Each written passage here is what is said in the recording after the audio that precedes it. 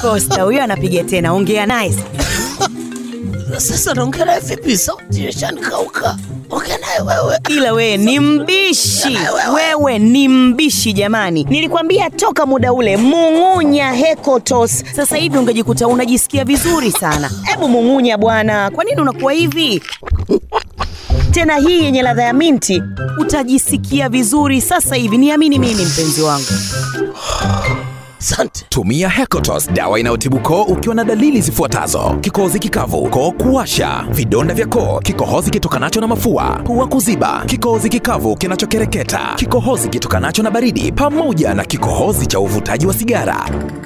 Koo huru na dawa ya Hecotos kwenye mfumo wa tembe kwa ladha ya mint, chungwa, lemon na raspberry zinasambazwa na Heco Pharmacy Limited. Umesema inaitwaje vile? Inaitwa Hekotos. Maumivu yakizidi, muone daktari.